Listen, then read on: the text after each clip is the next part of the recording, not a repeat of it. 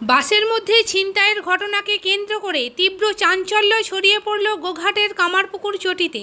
গোঘাটের শ্যামবাটি বায়ুগ্রাম সমবায় সমিতির ম্যানেজার কাজল আলু দু লক্ষ ছাপান্ন হাজার টাকা নিয়ে কামারপুকুর কোঅপারেটিভ ব্যাংকে জমা দিতে যাচ্ছিলেন। আরামবাগের কালীপুর থেকে কামারপুকুর যাওয়ার পথে তার ব্যাগ থেকে টাকা ছিনিয়ে নেয় দুষ্কৃতীরা। বাস থেকে নামার সময় তিনি একজনকে ধরে টেনে নামান। এলাকার মানুষ ওই যুবককে পুলিশের হাতে তুলে দেন। গোঘাট থেকে সংবাদ সোমালিয়ার প্রতিনিধি কনকলতা ঘোষের রিপোর্ট আমি সমবায়ের টাকা নিয়ে ব্যাংকে আসছিলাম এই দুজনে আর তিনজন ফলো করেছে প্রথম থেকে আমাকে প্রথম থেকেই ফলো করে কোন জায়গা কোন জায়গাটা আমি